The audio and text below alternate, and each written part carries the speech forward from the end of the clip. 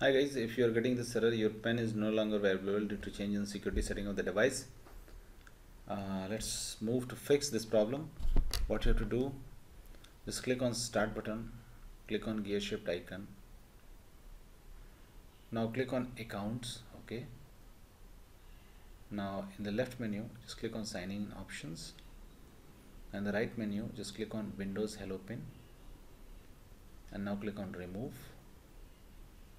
and now finally click on remove okay? And your pin will be removed. Now you will be able to log in without a pin and now you can come here again and uh, reset a pin okay?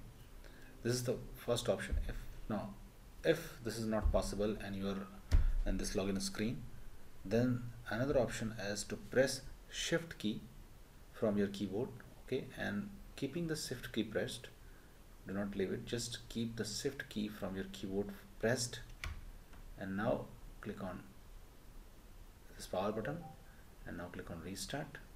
Okay click on restart anyway.